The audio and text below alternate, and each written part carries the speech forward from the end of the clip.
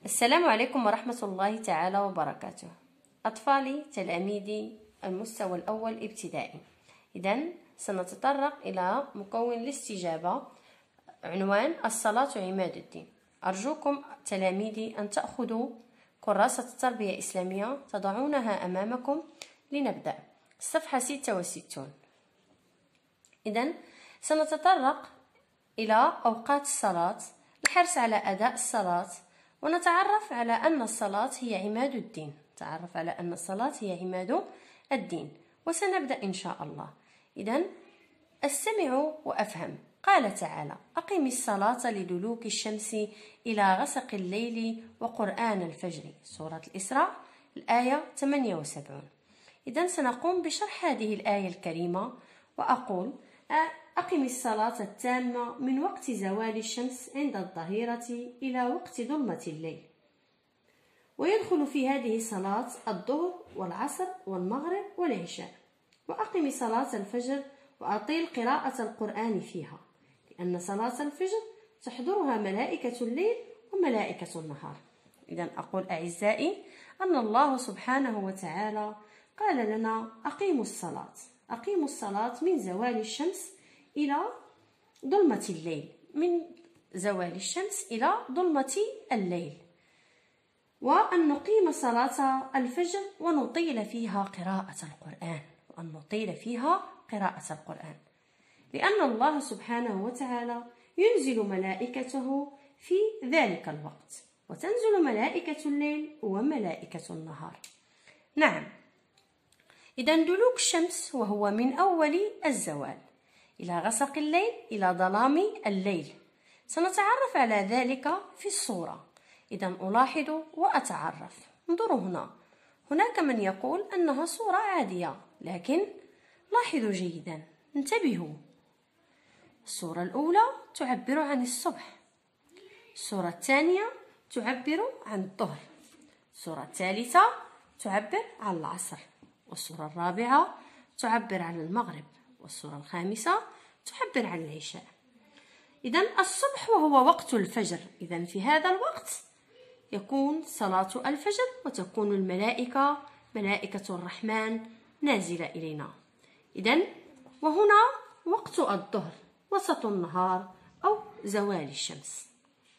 إذا العصر وهو بعد زوال أو وقت الظهيرة. بعد زوال وقت الظهيرة وهو العصر. المغرب غروب الشمس. عندما تغرب الشمس يحن آذان المغرب. العشاء عندما ينتشر الظلام. والله سبحانه وتعالى ذكرها في آياته. وقال غسق الليل. إذا شرحها إلى ظلام الليل. وأنا قمت بشرح هذه الآية لكم. إذا سنقوم الآن بإنجاز.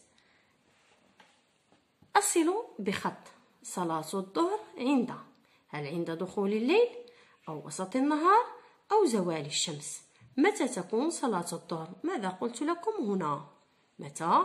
وسط النهار. حسن جدا. تكون وسط النهار. صلاة العصر. متى صلاة العصر؟ ماذا قلت عن العصر؟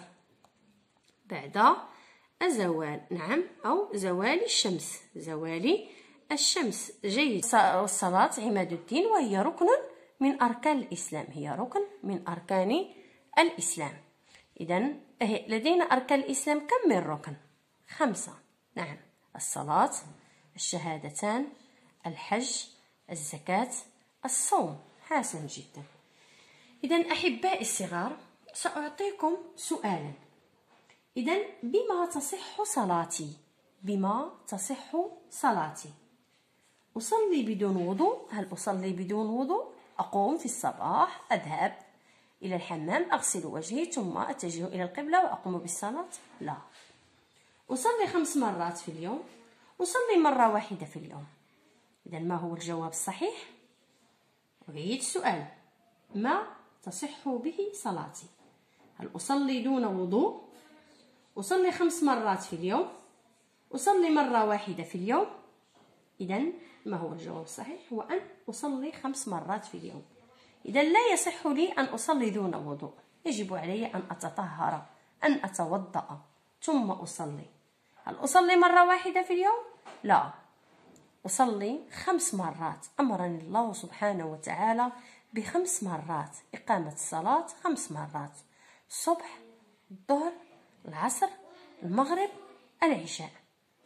إذا أحرص على أدائها لأنها الصلة الوحيدة التي تربطني مع الله. الصلة الوحيدة التي تربطني مع الله.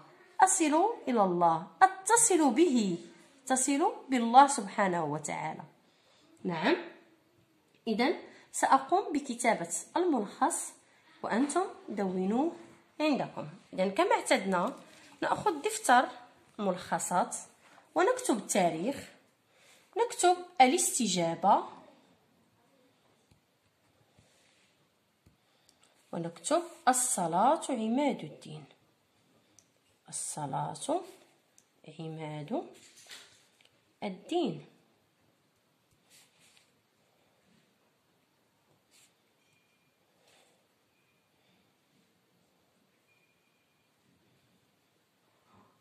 إذا نسطر على الاستجابة وعلى الصلاة عماد. إذا أقول الصلاة عماد الدين.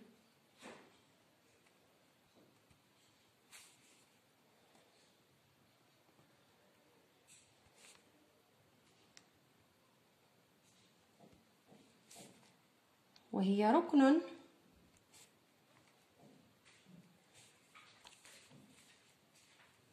من أركان الإسلام.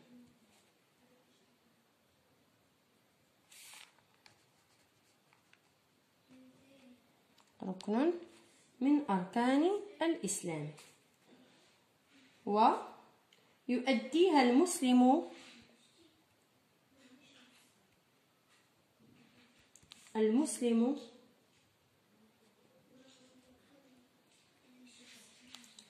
خمسة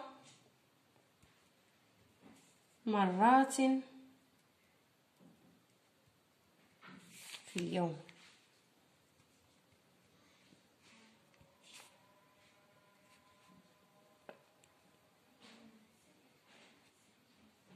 خمس مرات في اليوم. نعم سأقرأ.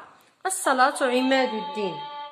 وهي ركن من أركان الإسلام ويؤديها المسلم خمس مرات في اليوم. نعم إذا اكتبوا الملخص في دفتر الملخصات وتابعوني في حصة لاحقة إن شاء الله.